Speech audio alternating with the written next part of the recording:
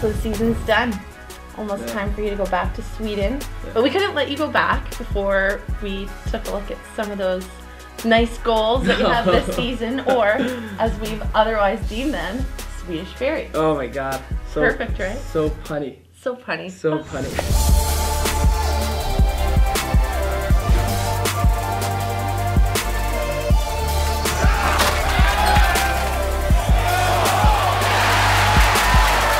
First of all, we picked our favorite five. Okay. Perfect. Yeah. Like favorite five for any goals. Yeah, okay. So let's start off with number five, shall we? Alright. Mascherin high slot in front and scores. What a uh. nice setup.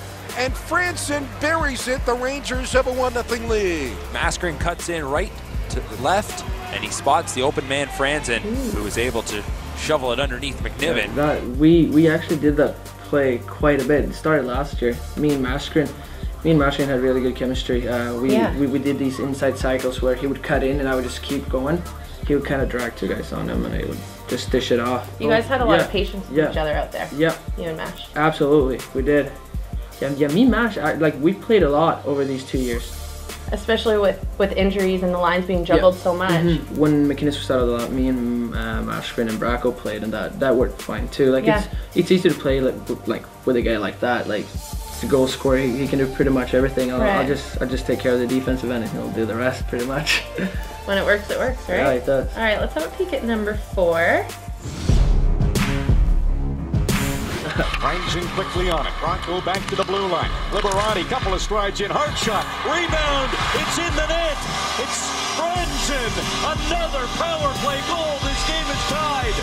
You get a couple of power play goals in the first and now come out with a significant chunk of time on the clock because of the Brendan Lemieux major. And the shot on goal, it gets blocked and picking it up in the perfect areas, France. And I love the patience right here. He goes to the backhand, he pulls I think all my goals are on the back. Every single one might be in the back end. In that exact moment, it was it was weird because I, for some reason, I just knew that it it would come to me. Like like it went up a guy and came right to my stick. But like I kind of knew before that. I was like, Was could you read Kalina? Like, was it that he was giving that up about himself? That you knew if you were patient and went to the backhand? no, but like like even even before I got the puck, it was it was like weird. It was like. I, I think this is the moment I'm gonna score. So when Libs had the puck, he hasn't even like he didn't even shoot it yet, and I went to the net. I feel like okay, this is probably somewhere It's gonna end up on my stick. Like this is, I, I think I'm gonna get it, and I think I'm gonna score. And it Libs shot it, went off a stick, landed right on my blade, right in the slot. And my momentum was already going around around Kalina, and he was. So I just I just waited and put it into an open up pretty much because he was stuck on the other post. And when I scored that by, oh my god. So, question: When you're down three nothing and you score the goal that ties the game at three three, do you hear how absolutely loud it is, or do you hear nothing?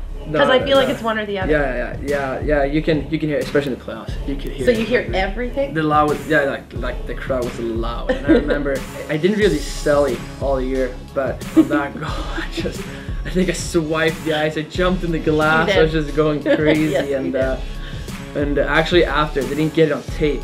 Uh, MacInnis stick got caught in my skate.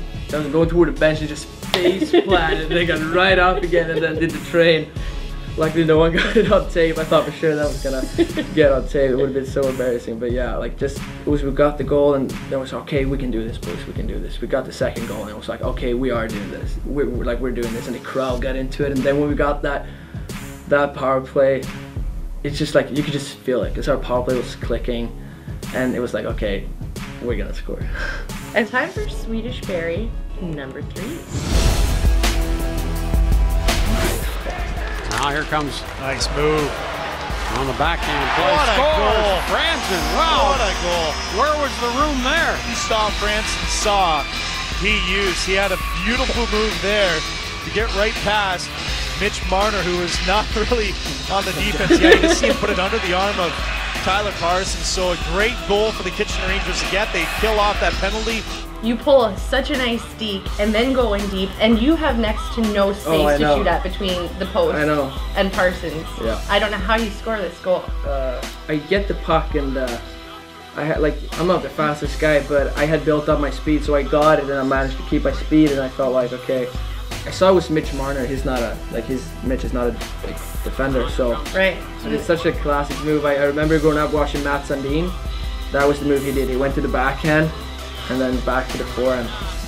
Amazing how well it worked. And then and then And I, then just I under the armpit. yeah I like I, I actually like I, I wanted to roof it, but I got like I got a lot behind But you, that you'd shot. settle just for what you got? Like it's okay that you didn't roof it? No, Absolutely, whatever. Like All right.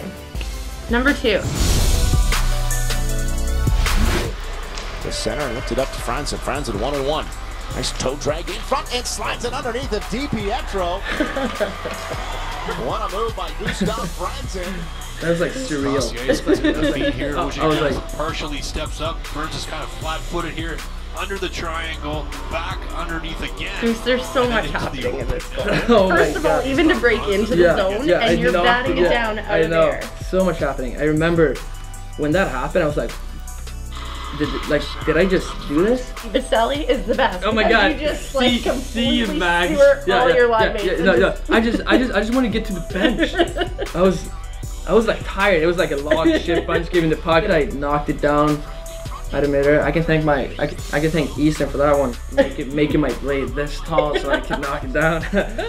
uh, that's one of my, that's one of my favorite moves. I've done it since I was a little kid. You show so much patience. Like in every goal, It's- there's it's like an element uh, of patience in it, you know?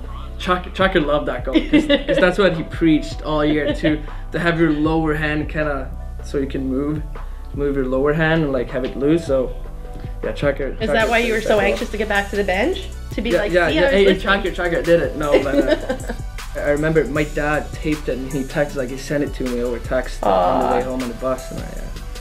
He was proud of you for that one. yeah, he, he he he liked that goal. He was like, you should, you should do that more often. Okay, Uh, I guess well, I'll feel like yeah. doing it more often. All right, number one Swedish berry. Fortunately for them, the Rangers got it back. Here comes Gustaf Franzen in on a load. He scores! Franzen with a great second effort. Did his best to stay on his feet after getting tripped up by the back checker. And yeah, just trickles right through the legs. So a very good effort here by back end, yeah. Gustaf Franzen. He is Another one on the back end. And the Rangers are up 2 nothing. Franzen's sixth goal of the year. I was just hoping that I would get a penalty for it, like a penalty Yeah. shot for it, because I, I, I didn't know it would go in. I just wanted to, just want to get it on my backhand. Draw the My, penalty. my, my trusty backhand, and I think that that goal pretty much shows that that no matter what situation, no matter if I have one, like both feet in the air, like I got nothing, like I'm not even on the ice anymore. I'm just like in midair, like I'll, I'll try to score and then going straight into the boards after. And I didn't realize it went in until I heard the goal horn go off and all my teammates came up to me and I was like, wow, that that was nice. That that felt good. Was that your favorite of the year? Uh, yeah. Or yeah, yeah, yeah. I think so. I think so. It was it was early on in the year. Mm-hmm. Uh, my dad taped that one too and sent it to me after the game, and uh, all my friends texted for me like, "Man, like, have you seen your goal?" Gabriel Landeskog retweeted Yeah, it and yeah. liked it, and you know was giving you props for it. Yeah, that so was, that was that was. that does it feel good big. to you know That was starstruck. for guys that you know that have been a part of this organization to know that not only like they're still following us here, but they're giving you props because even Mm-hmm. Yeah. they think that's such a beautiful play. Yeah, yeah, yeah, absolutely. And uh, I was surprised that it, that anyone remembered that goal. I thought it was just like a normal goal, but it should like surely wasn't. And uh, looking back at all of those goals, it's been it's been a really it's been a fun year.